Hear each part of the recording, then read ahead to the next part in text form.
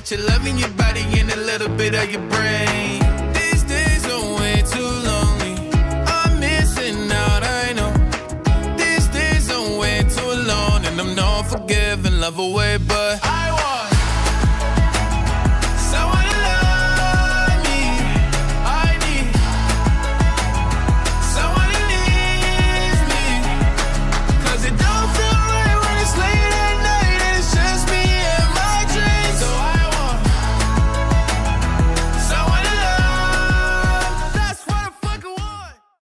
Buonasera amici di Rete 8 Sport, ben ritrovati. Questo è un appuntamento speciale di A Cena con, eh, con il presidente della Pescara Calcio Daniele Sebastiani. Buonasera Presidente. Buonasera Enrico, buonasera a tutti i telespettatori. Grazie per aver accettato il nostro invito perché è una puntata speciale. Siamo al ristorante da eh, Carletto a Montesilvano. Presidente, prima di assaggiare questi splendidi piatti, intanto ringraziamo Carletto per l'accoglienza. È una puntata speciale perché racconteremo un 2021 Da incubi. da incubo per il Pescara. Presidente, è arrivata la retrocessione, sul campo la seconda consecutiva, però è la retrocessione che effettivamente ha riportato il Pescara in Serie C. 2021 da incubo. Sì, il 2021 da incubo perché è chiaro che, come dicevi tu, noi abbiamo, ci siamo salvati nell'ultima partita nello scontro play-out a Perugia, ci siamo salvati, io non dico che la retrocessione sul campo, sì, è vero, ma fino a un certo punto, perché poi... Tanto si arricchisce la tavola, eh, Presidente, grazie. Grazie mille. Perché poi fondamentalmente eh, per salvarsi sul campo bisogna essere in regola, qualcuno non lo era e quindi eh, noi ci saremmo salva- salvati ugualmente. il campo. Trapani. In quel caso era il Trapani, ma ogni anno c'è sempre qualcosa che non va. Quindi un 2021 sicuramente da, da cancellare il prima possibile, da- sperando che il, il 2022 possa ripartire con eh, tanta positività e soprattutto ci possa dare delle soddisfazioni. Mi sa dire una cosa, una che cancellerebbe nel 2021 l'errore più grande che ha fatto? Ma io cancellerei, non il 2021, io cancellerei anche mh, gli ultimi due anni sicuramente, perché questa è una società che ha sempre avuto una sua linea di condotta, una sua mission che era quella di far giocare i giovani bravi. A Pescara sono sempre venuti i giovani bravi, anzi tutti volevano venire tutti facevano la fila per venire a Pescara.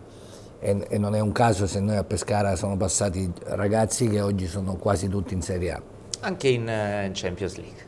anche qualcuno in Champions. Per cui eh, questa era la nostra mission e dovevamo continuare su quella falsariga. Quando, quando ti snaturi sapendo che non lo puoi fare per cercare di andare a prendere dei nomi, dei giocatori che sulla carta, purtroppo sulla carta non si gioca e quindi quello che mi rimprovero io da presidente è, di aver cambiato la mia strategia per correre dietro magari a dei nomi, a, a dei giocatori che potevano eh, sulla carta fare qualcosa in più, non l'hanno fatto, cioè sicuramente non, non hanno quella, probabilmente non avevano più quella fame necessaria per fare queste categorie e io ti devo dire Enrico che nell'ultima partita ad Ancona eh, mi sono riemozionato nel vedere una partita di calcio del Pescara perché vedere tanti giovani in campo, gente che mette eh, che butta il cuore oltre l'ostacolo, che, che corre per 95 minuti, che dà tutto quello che ha e quello è il calcio che voglio vedere io.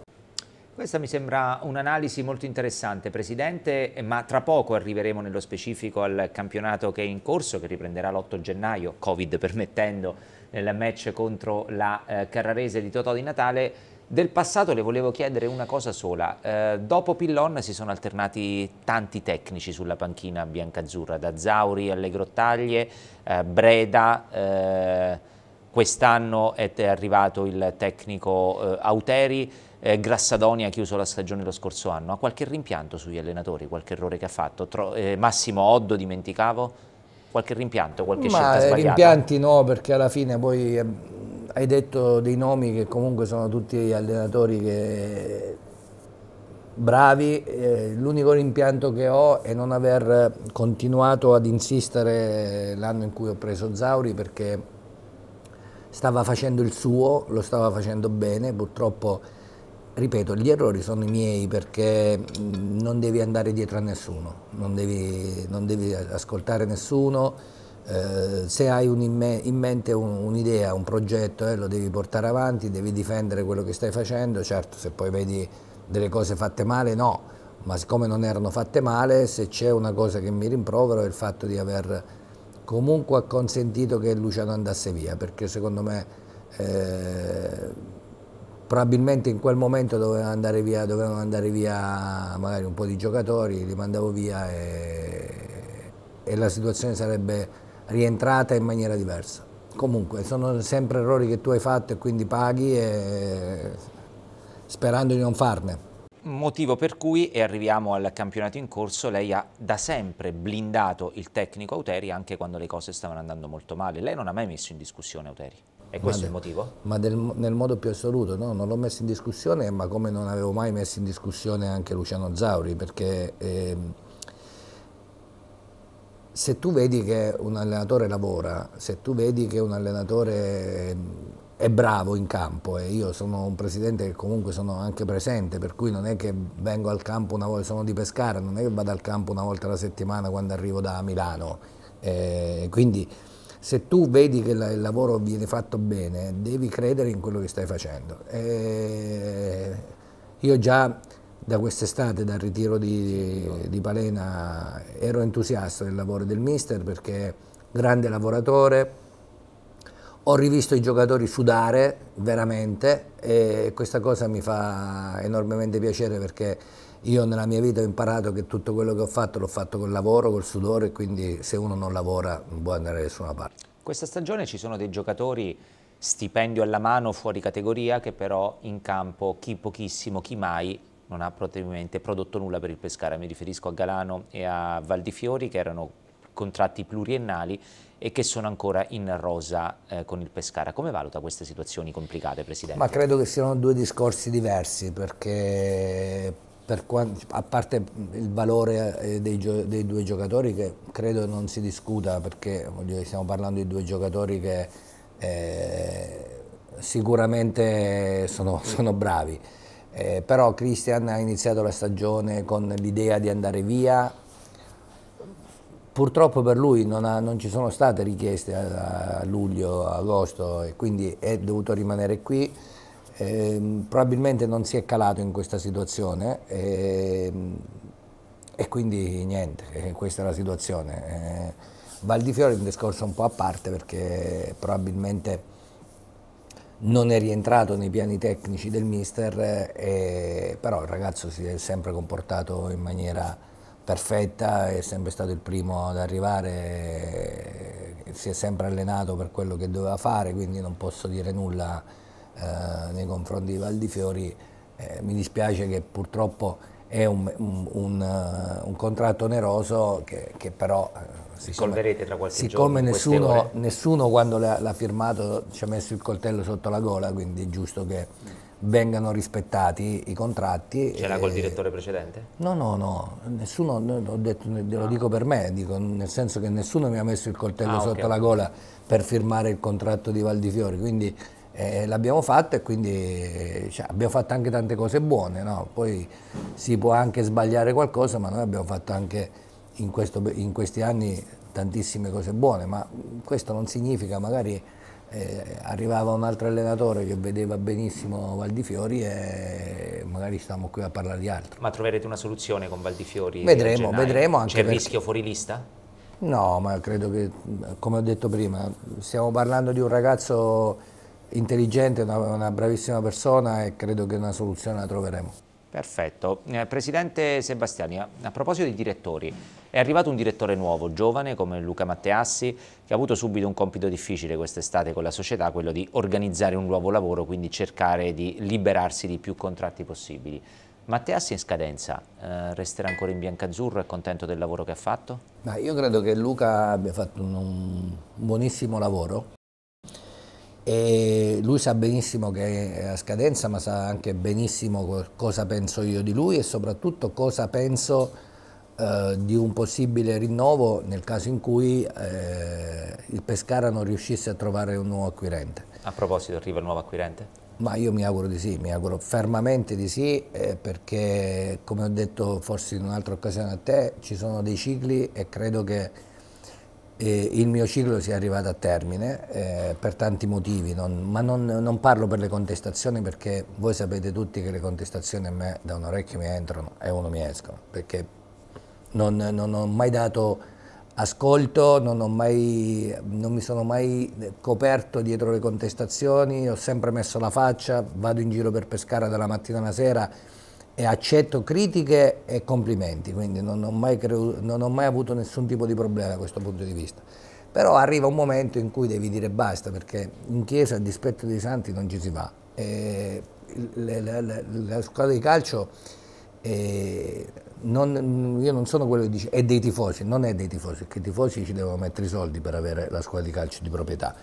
Però è una squadra che vive... Un po' come sta facendo l'Aquila Calcio, i tifosi mettono i soldi e sono i proprietari ma se ci mettono i soldi e rischiano in proprio, allora sono i proprietari. Ah, okay. Mentre invece io dico, la, la squadra, le squadre di calcio sono un patrimonio della città okay, e quindi dei perfetto. tifosi, ma poi sono, vanno distinte le situazioni, perché se poi uno mi dice la squadra è dei tifosi, perfetto, allora a fine mese devono arrivare anche i tifosi, perché se poi i tifosi non arrivano non è, può essere della squadra dei tifosi. Quindi, da questo punto di vista eh, faccio una distinzione, però poi è, chiaro che la squadra di calcio è un patrimonio di tutti quelli che la amano e quindi è, è evidente che se uno non è ben visto eh, deve salutare e deve andare via. Ma facendo il gioco delle percentuali quanto manca per la firma del Presidente Sebastiani? Ma mi auguro veramente molto poco, mi auguro veramente molto poco perché significherebbe ridare anche un po' di entusiasmo, no? perché tanto eh, voglio dire, qui nel discorso, per, in questo momento nel discorso mio personale non, non si tratta più ne, nemmeno di parlare tra le parti, di parlare con Tizio, di parlare con Caio. Si tratta che è un rapporto che è così, mm, chi, se, se c'è un'onestà intellettuale tutti sanno perché il rapporto è andato in quella direzione, o perlomeno chi contesta lo sa benissimo, però a me non interessa, ripeto, non faccio polemiche e non mi interessa più di tanto, eh, però arrivi a un punto che le situazioni si rompono ed è giusto che tu ti faccia da parte. È chiaro che io eh, non sono uno di quelli che lascerà il Pescara eh, nella palude e quindi eh, cerco, lo sto facendo veramente con grande forza e mi metto a disposizione da tutti i punti di vista, soprattutto da quello economico, eh, per cercare di portare a Pescara qualcuno che possa continuare un progetto che dura oramai da quasi 13 anni. E chi dice che Sebastiani ci vuole guadagnare? Mm, dice una grande cazzata perché se qualcuno è capace di guadagnare in queste categorie, eh, io non capisco poi, mi faccio una domanda al contrario, non capisco il motivo per il quale nessuno si va avanti, perché se è vero che Sebastiani guadagna, no, ma perché non ci viene qualcun altro a guadagnare? Eh, eh, Così, buttare eh, la pietra nello stagno è facile, purtroppo a Pescara parla gente che è fallita 15 milioni di volte e parla, cioè, eh, di che dobbiamo parlare? Scrive gente che eh, ha imbrogliato il mondo e scrive, e quindi dobbiamo stare a sentire pure questi, li stiamo a sentire, ma ripeto, proprio non ce ne può fregare di meno.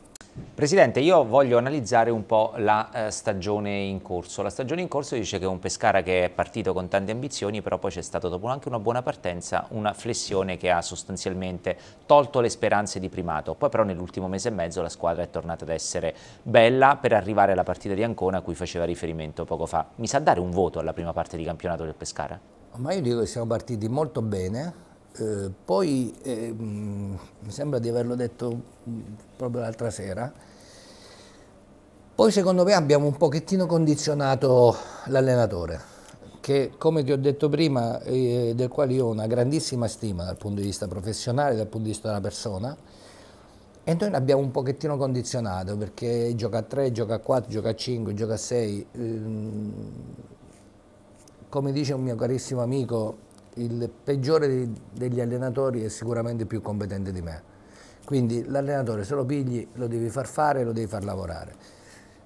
Probabilmente anche il mister qui ha, magari si è fatto un pochettino condizionare, abbiamo cominciato a metti quello perché quello sta fuori, perché quello sta dentro e abbiamo perso un po' di strada, di terreno.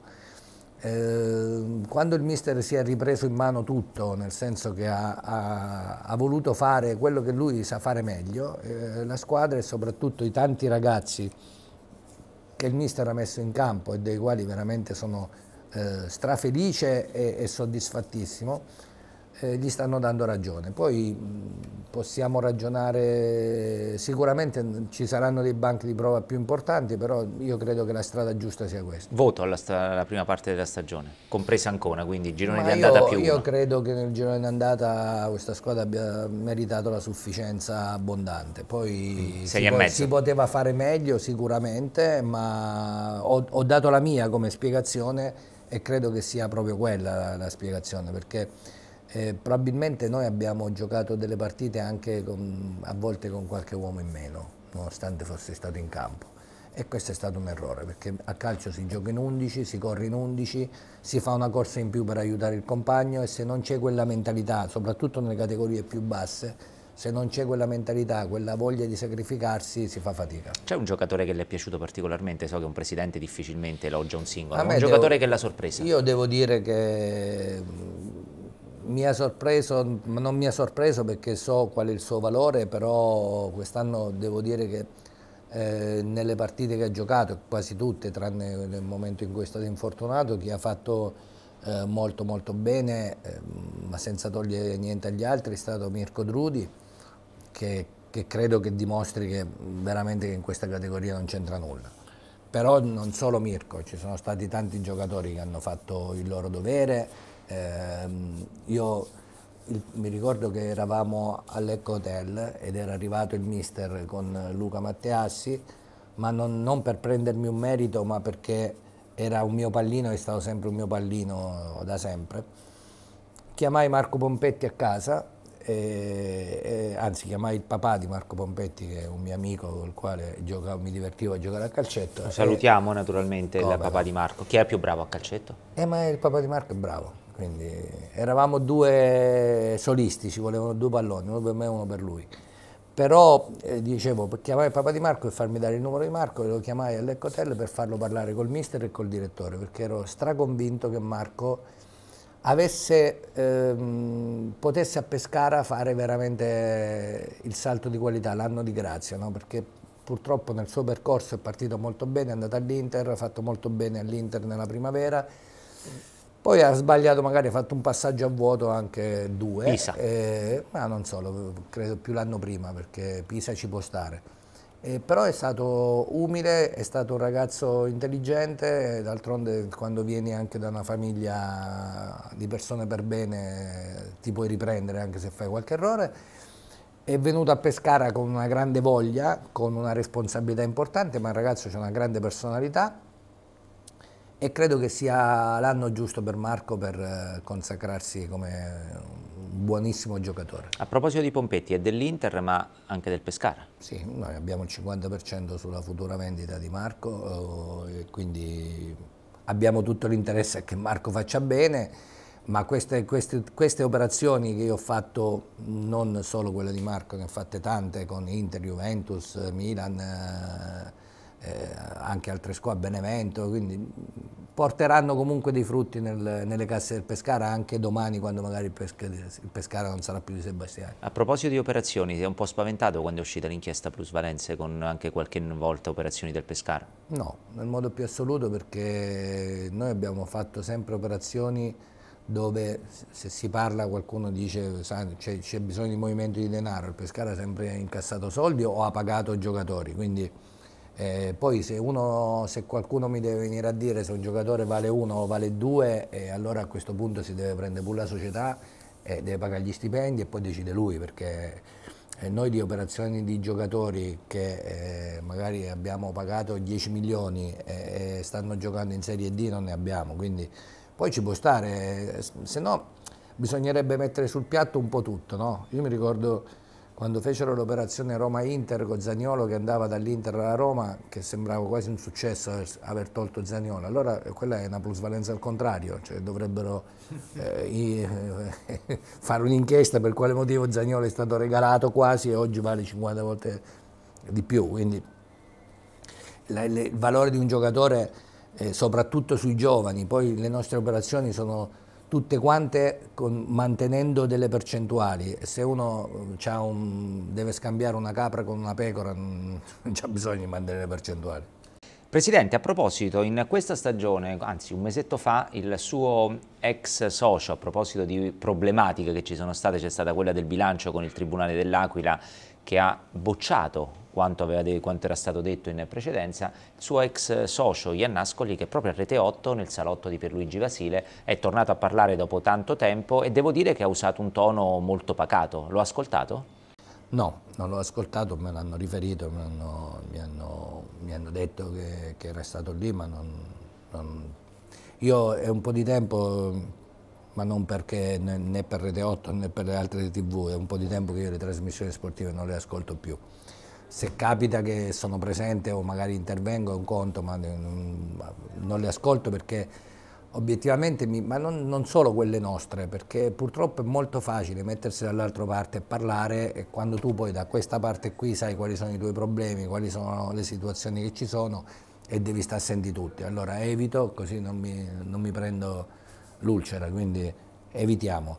Per quanto riguarda l'intervento di, di Danilo, credo che mi auguro che probabilmente anche lui abbia capito che ha fatto tutto da solo, quindi io obiettivamente non so nemmeno che cosa rispondere perché eh, uno che fa l'amministratore delegato, che ha delle deleghe, che nell'anno in cui decide alla fine di quell'anno decide di dimettersi, se andiamo, se, se, basta che, che, fate voi una ricerca, in quell'anno credo che abbia partecipato a più trasmissioni lui che, non lo so, che, che Pippo Baudo dei bei tempi, e, e che ha parlato sempre da amministratore par, parlando di progetti, di programmi, di quello, di quella, e poi dice io sono stato estromesso, da cosa? Cioè, se vi ricordate la finale del, del, um, playoff di Bologna, Dopo la finale playoff, che poi da lì a due mesi lui si è dimesso, dopo la finale di, di playoff di Bologna, lui è andato in sala stampa confermando l'allenatore. E credo che se uno, no, se uno può confermare l'allenatore senza avere, avere poteri o, o, essendo stato estromesso, credo c'è qualcosa che non va. Io mi auguro che lui abbia capito anche queste cose, perché io non ho mai litigato con nessuno e non ho mai litigato nemmeno con Danilo. Ha fatto tutto da solo, ne ho preso atto, andiamo avanti per tornare al discorso del bilancio credo che anche lì siamo assolutamente tranquilli perché poi eh, bisogna leggere anche le sentenze, se tutto è ammissibile non si capisce perché il bilancio è nullo, per cui faremo appello e andremo fino all'ultimo grado di giudizio, ma eh, la continuità aziendale di questa società la dice lunga su quelle che sono poi le situazioni, no? perché poi eh, se certe situazioni di bilancio contestate dallo stesso Iannascoli erano lì dal 2012-2013 e sono state sempre riportate in un certo modo e non è che uno se ne accorge nel 2016 che quelle sono sbagliate. Quindi, comunque, mm, non mi va, ripeto, anche qui di fare polemiche, prendo atto di quello che ha detto, mm, mi fa, mi fa anche piacere, tra virgolette, però tutto questo casino, questo clamore si poteva tranquillamente evitare, considerando un fatto, caro Enrico, che mi va di sottolineare perché quando dico scriverò un libro e vi farete due risate, perché eh, veramente, ha incuriosito tutti, perché eh, veramente ci sono le carte, perché veramente non si può pensare che io vadi, vada in, un'aula di tribunale a contestare un bilancio di una società a cui partecipo e poi nella mia società che partecipo invece faccio i complimenti agli amministratori del Pescara. Quindi nelle due l'una mi viene da sorridere, ma andiamo avanti, sorrideremo insieme quando sarà. Tanto prima di andare avanti Alberto facciamo portare un altro piatto che Carletto ci ha gentilmente preparato, manca ancora un po' Presidente, poi può assaggiare tutto, sia lei sia Alberto Capo, io eh, sono a dieta quindi non posso toccare, questi, non posso toccare questi, piatti. Eh, torno sui giovani perché lei inizio trasmissione ha detto probabilmente l'errore che abbiamo fatto negli anni passati, negli ultimi due anni è quello di esserci snaturati, non aver puntato più sui giovani e aver eh, cercato dei giocatori forti sulla carta ma poi non si gioca con la carta. Ecco, le volevo dire, quest'anno stanno venendo fuori dei giocatori importanti, mi viene da pensare a Veroli, mi viene da pensare al portiere Sorrentino, di Pompetti ne ha parlato abbondantemente lei e c'è un settore giovanile, c'è Chiarella, c'è eh, Delle Monache già convocato in nazionale, c'è Blanuta in odore di prima squadra, ecco, chi è il prossimo a lasciare Pescara per eh, volare nel calcio più importante?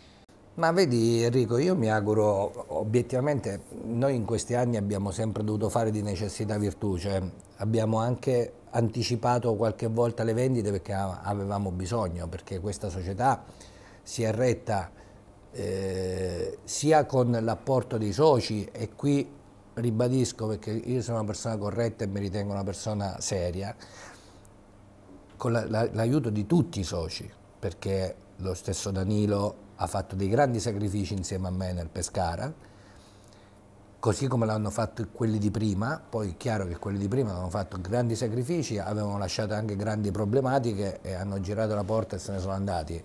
Però, Con chi ce l'ha? No, in generale tutti quelli che sono stati nel Pescara, quelli che hanno inciso in un certo periodo, che prendevano le decisioni, quando, quando sono andati via il Pescara non è che avesse i soldi in cassa, cioè aveva 27 milioni di debiti, quindi un pochettino di, di Oggi quanti ne ha? Ma oggi credo che se il Pescara fosse un'azienda che produce bicchieri, se vende quello che ha e paga quello che deve pagare, forse qualche, qualche soldino gli avanza. Quindi probabilmente questa società non è che ha fatto così male. E ce l'ha Oltre... con Peppe De Cecco, ce l'ha? No, no, io non ce l'ho con nessuno, io dico le cose come stanno, perché se no qua io ho sempre cercato di fare il signore, no? di andare oltre, però poi le, le, le parole e, e le situazioni le prendo sempre sulle spalle io perché ci metto la faccia, però è giusto anche che... Stai anticipando cose... qualche capitolo del libro? Ma no, il, il libro sarà un, un'enciclopedia, sarà, non un libro. Vado avanti Presidente, mancano 5 minuti per chiudere questa trasmissione, per riassumere un po' il momento del Pescara, per chiederle quanto ci crede alla Serie B attraverso i playoff. Ma noi ci dobbiamo credere, ci dobbiamo credere perché la squadra ha tutte le possibilità per giocarsela. E purtroppo, ripeto, abbiamo ha lasciato per la strada tanti punti e quindi oggi è difficile pensare a una promozione diretta. Però ci dobbiamo credere perché i playoff eh, sono sicuramente alla nostra portata e sono degli spareggi, quindi li conosciamo bene sia playoff che playout, speriamo che magari anche in questa occasione ci possono andare nel verso giusto. Più forte il Modena o la Reggiana? Per quello che ho visto io, per le, per le due partite che abbiamo giocato noi, eh, a me ha impressionato più il Modena, però eh, devo dire che la Reggiana è una squadra quadrata, ben attrezzata, ma nel caso di Pescara credo che non sia stata sicuramente la Reggiana a vincere la partita, ce la ricordiamo tutti la partita. Tre gol fuori, tutti e tre viziati da fuorigioco. Se Portiere non... espulso per, per, non si capisce per quale motivo. Avete anche subito un gol, avete anche subito un fuorigioco dalla propria metà campo con, con la Vispesa. Ma all'inizio, no? vedi, vedi, Enrico, uno non si deve attaccare a queste cose. Però vi, vi hanno condizionato, è oggettivo. Fine, però obiettivamente, se uno, nel calcio soprattutto, se uno parte bene, crea entusiasmo, il tifoso viene allo stadio e invece di fischiarti ti incita, e, e, tutto va meglio, no? Quindi se in quel periodo magari quei due o tre risultati fossero stati a, a, nostro vantaggio, probabilmente tutto sarebbe andato in un'altra direzione, cosa che magari le altre due squadre hanno avuto, no? La positività. Noi in quel periodo obiettivamente la positività non l'abbiamo avuta anche non giocando male. Chiudiamo così Presidente questo numero di A Cena con la telecamera davanti, se vuole mandare un messaggio alla città di Pescara, alla piazza e anche a quella parte di tifoseria che eh, continuamente la contesta anche con decori abbastanza mirati e devo dire anche poco, poco carini nei suoi confronti. Ma io alla città di Pescara il messaggio che voglio mandare è quello di credere in questi ragazzi, di credere in questa squadra perché comunque sia eh, sono ragazzi giovani e sono ragazzi che secondo me daranno grandi soddisfazioni anche in futuro. A quelli che mi contestano, che devo dire Enrico, io cioè, non, non, ho nulla da dire perché poi alla fine ognuno si fa una sua idea e pensa, a me l'unica cosa che mi dispiace che parla veramente gente che non potrebbe proprio manco aprire bocca e quindi mh, mm, che cosa devo parlare, che cosa devo dire, cioè, non, non, ho nulla da dire se non speriamo che il prima possibile che io possa andare via dal Pescara perché vuol, significherà trovare qualcuno serio e possa portare avanti un progetto. Se non dovesse arrivare? Nel caso in cui non, dovesse, non dovessi trovarlo io, io ho già detto in più di un'occasione io sono a disposizione, mi, mi, portassero loro delle persone, ci mettono la firma, nel senso che domani la responsabilità non sarà di Sebastiani, che io abito a Pescara e vivrò a Pescara, e a differenza di tanti di quelli che contestano, io sono pescarese doc, purtroppo qui a Pescara contesta gente che non è manco di Pescara, quindi di chi stiamo parlando? Allora, se c'è qualcuno che invece è disponibile a portare loro l'interlocutore, io sto qua a sentire, ho detto non mi metterò di traverso in nessun modo, per cui più di questo Chiede però le garanzie. Eh, ma non è che qualcuno può fare calcio con le firme mie, perché se del calcio devono fare con le firme mie... Lo fa il Presidente. Beh, eh, continuo io e poi vediamo, ma mh, se, se, qualcuno viene e ha la disponibilità, perché poi tutti parlano, ma nessuno eh, conosce poi il regolamento. Oggi leggevo che la Pistoiese sta facendo, ha fatto, firmato un preliminare per la cessione delle quote. Preliminare perché poi deve dare il tempo a chi acquista, a chi si è impegnato a dare le garanzie che la federazione vuole per, per le NOIF. Ma se questa gente queste cose non le sa, non può dire che Sebastiani non vuole vendere. Quando io ho detto che noi proprietari siamo ostaggi delle società, non l'ho detto in maniera negativa, l'ho detto perché oggi non puoi vendere a chiunque, non è che domani mattina, questa è una società di capitali che a differenza sempre di quello che produce i bicchieri, che domani mattina se si stufa vende chi, al primo che arriva, qui invece sei controllato e quindi per vendere la società devi trovare un interlocutore che sia come te o meglio di te. Se c'è qualcuno disponibile, io sono a disposizione e non mi metterò, ecco, l'unica promessa che, far, che faccio a tutti quelli che mi contestano, che io sicuramente non mi metterò di traverso per nessuna cosa, sarò a disposizione e sarò, metterò la, la, la società nella condizione di cambiare proprietà. Però eh, ci deve stare l'interlocutore, se non c'è l'interlocutore di cosa parliamo? Che quando sento dire meglio l'eccellenza, se è così, mettessero per iscritto e io il prossimo anno non mi iscrivo alla squadra e faccio prima. Tolgo quello che devo togliere, pago quello che devo pagare, chi vuole ripartire riparte da dove vuole e va bene, però non è che poi Sebastiani ha portato, no, Sebastiani sotto la, la presidenza di Sebastiani il Pescara non ha mai avuto rischi, non ha mai rischiato nulla, non ha mai preso un punto di penalizzazione, non è mai stata immischiata in cose che non dovevano succedere e quindi più di questo io obiettivamente non, non credo di poter fare. Siamo arrivati al termine di questa puntata, Presidente, io la ringrazio per la sua disponibilità, eh, adesso può assaggiare tutti questi piatti qui al ristorante da grazie Carletto a Montesilvano, grazie a Alberto Capo che ha curato le riprese e il montaggio, facciamo un augurio di un felice 2022 a eh, tutti i nostri telespettatori. Quello sì, quello sì un, veramente un, un, 2022 sicuramente migliore, ma da tutti i punti di vista, soprattutto medico, che sanitario. ci possa portare fuori da questa pandemia. problematica della pandemia perché credo che soprattutto in, in questo momento in cui stiamo parlando c'è una situazione che sicuramente non è bellissima, eh, davanti a noi magari ci saranno giorni ancora più difficili e quindi mi auguro che veramente il 2022 possa essere ricordato come l'anno della risoluzione della pandemia. Grazie a tutti che ci avete guardato da casa, un saluto e alla prossima settimana sempre a Cena con. Buonasera. But you're loving your body and a little bit of your brain. These days are way too lonely. I'm missing out, I know. These days are way too alone, and I'm not forgiving, love away, but. I